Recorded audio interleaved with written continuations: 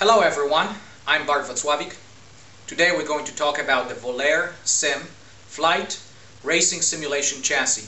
And specifically, I would like to talk a little bit more about the flight simulation side uh, of this uh, chassis. Give you some ideas about the configurability and adjustability uh, of this cockpit. And then we're also going to talk about uh, different ways you can mount various uh, flight simulation accessories uh, with this cockpit.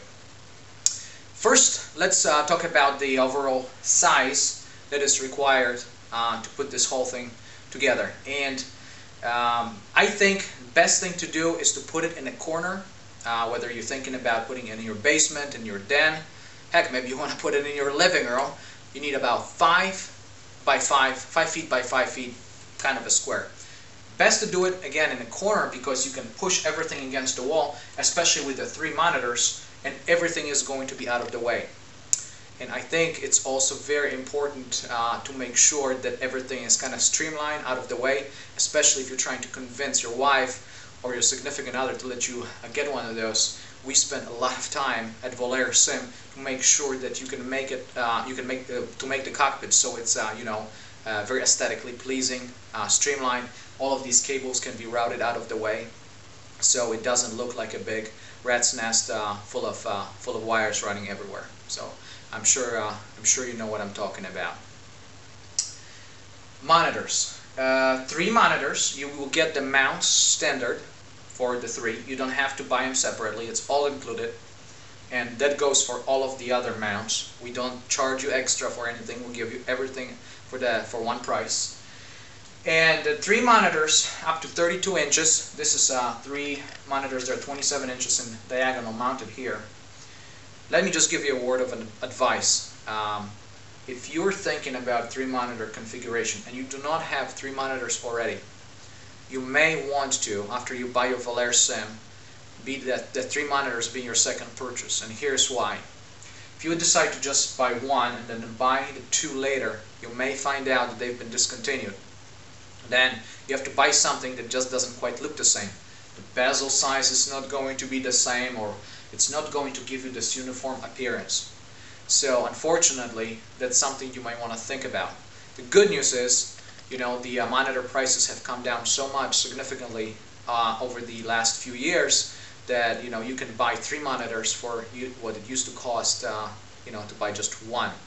Uh, everything else, really, you can buy, you know, as you grow into this hobby uh, or as you see it fit, but the monitors is something to keep in mind. Don't make the same mistake as I have uh, and then uh, you, you know you just uh, you're not just gonna have the look you're not gonna be happy with it as far as the adjustability of it you can move the monitor side to side and you can move the whole thing up and down so that the monitor's at uh, your eye level the monitor mounts are what's called VESA standard not like the Visa credit card but like the VESA industry standard for the monitors and if as long as your monitors have four kind of square pattern in the back they kind of look like a four bolts they'll fit here because it's an industry standard and we even give you the screws to put this whole thing together. So just if you're buying those or if you have them already, just look in the back, make sure that, that you have those four holes. Um, you should because that's kind of everybody's doing it that way, but just make sure. Okay, so um, that's the monitors. Now about this work table and, uh, and the avionics package. We'll talk about that in a little bit more detail because we didn't get into it uh, in the last video. Uh, first of all, uh, this work table is height adjustable. Okay, so you can move it up and down again to suit your preference and your, your you know your um, your body frame size. And you can also actually, which is haven't shown in the last video, you can adjust this angle here about 25 degrees. You can tilt it towards you. Reason for that is if you have some kind of uh, setup where you want to have a monitor that's kind of simulate maybe a ga uh, gauge package that you want to tilt it towards you, you can do that up to 25 degrees. Second thing is this whole thing is mounted with uh, four bolts, but there's two sets of mounting locations. So you can actually move this closer to the monitors or closer towards you, depending how you like it. We made this work table relatively wide, wide, so you can actually use it as a desk actually. Take this whole thing off and use it as a desk, or you can put all of your other stuff behind it, like your speakers, for instance, like we have it here.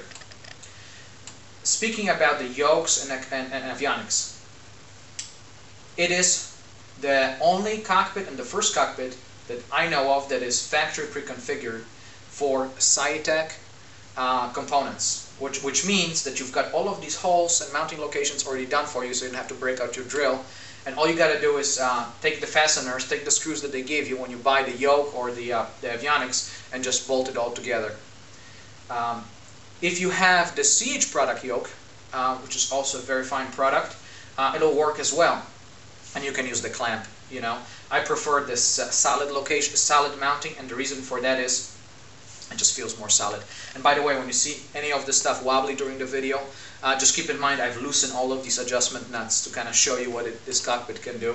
So don't feel like you're gonna get it home and it's all gonna be all, all, all uh, uh wobbly.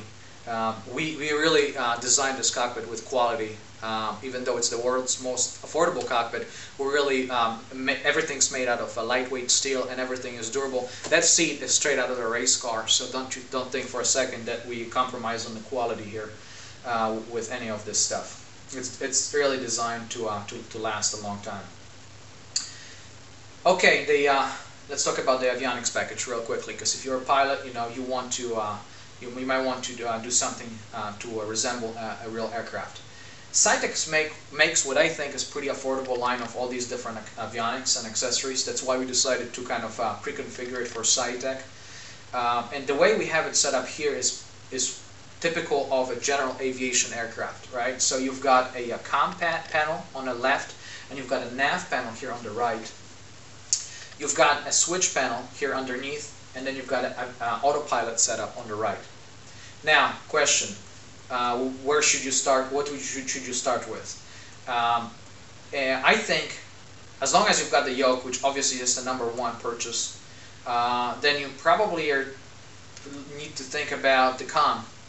The reason for that is so much more convenient to do it with uh, with this than the keyboard, and you can switch and you can set it up for COM actually, and you can have the bottom for nav, so you can actually have a nav COM type of a setup.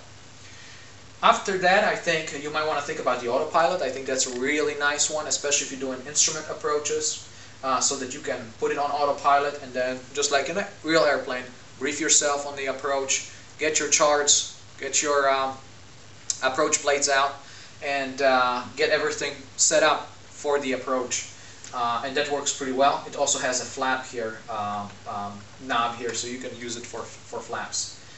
I've got a nav, second nav here because I basically have it COM1, COM2, you know, that's for your ATIS and for AWOS and the, the, the two navs. Or the second nav I sometimes use for my transponder code if I'm flying online. Uh, I use it for my transponder code um, or something like a DME maybe readout. Um, so that's that's how I have it set up here. This back uh, BIP they call it, I think back backlit instrument panel or something like that. Say they call uh, is uh, calls it. This is for uh, showing you the, uh, it's like an, an, annunciator panel, basically what it is. So you've got your um, indications. I've got a nav, you've got nav GPS mode, so I've got nav mode, COM1 active, beacon strobe lights. Uh, so everything you turn on, it basically shows you here. It's a, it's a nice, um, nice um, add-on, not necessary. Uh, some people here, they would put a six-pack, right? So that Saitek makes those little gauges, so you can put your six-pack in here and then you can mount this maybe off to the left or to the right. Last is that uh, switch panel here. Uh, this is also I think pretty nifty because you've got your gear, uh, gear uh, lever and then you've got all of your switches. So really, when I'm flying, I set it up with my keyboard, you know, or I'm flying, my flight plan and everything. But then once I'm once I'm uh, on the uh, on the ground, like here, I no longer touch the keyboard really throughout the flight. And that's I think what you need to be looking for. I mean, when you fly an air, airplane, real airplane, you don't have a keyboard in your cockpit. So this is set up to really make you feel like uh, the real deal. A little about this keyboard tray. Again, uh, a must, I think, for flight simulation and even for racing, because you know you got to be able to set this whole thing up before you get uh, start flying. Enough space here if you had a mouse, so you can put your mouse here. Maybe you want to put an iPad here. I've got a little, this little keyboard here with a touchpad but I made it big enough so that you can have a mouse here and fully articulated, right? So you can move it like this and also move it up and down here, right? So this knob loosens here and then you can move it up and down like this, Okay, so uh, depending on your height, you're not gonna hit yourself in the knees, but you can move it so it will clear that work table. On the right hand side, the right mount is for your throttle quadrant and for your trim wheel. And if you're flying multi-engine, you can put two of those throttle quadrants, quadrants together. Uh, so you have your left and right engine controls and your trim wheel. I think trim wheel is a must, you know, especially if you're flying general aviation, you're really flying with a trim. So you want to have it mounted so it's handy. Um, rudder pedals. rudder pedals are designed for both the CH products and for Saitek, and other ones will fit. There's enough room in there. I think every rudder pedal we tested, it, it, it works no problem.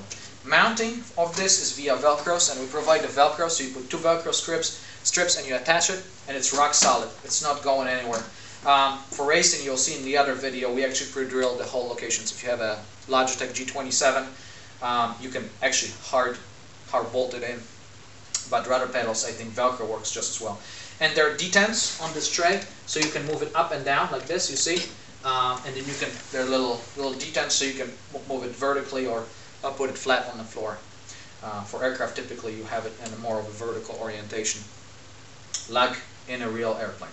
So that's the uh, that's the pedal tray. On the right, on, on the left hand side, I'm sorry, you have the uh, the other mount. That's standard again.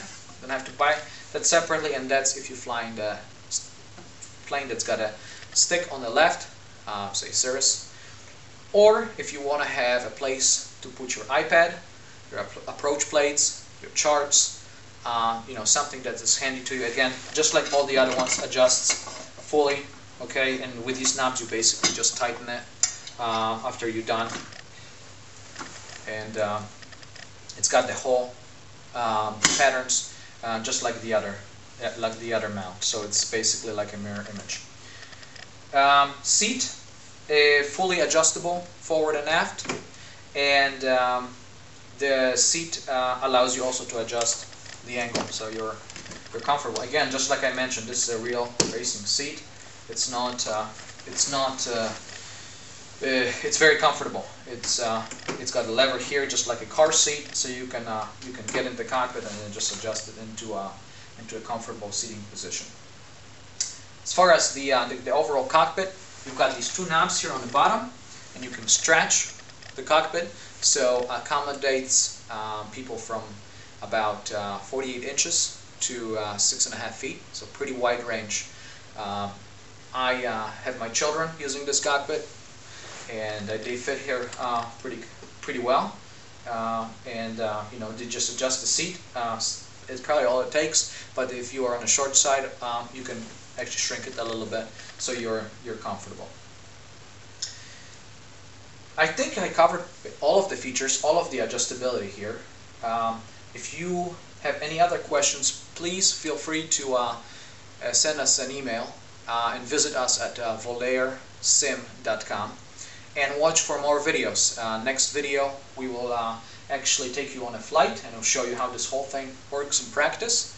Uh, and then um, we also going to show you another setup uh, with Volair Sim setup for racing. where we're going to mount the G27 wheel from Logitech on this and we're going to show you the same cockpit in a racing configuration. So you can alternate from um, you know, from flying to racing if you if you like to, to do both. Again, thank you for watching. Uh, I hope you enjoyed it and uh, visit us on uh, volairsim.com. Thanks.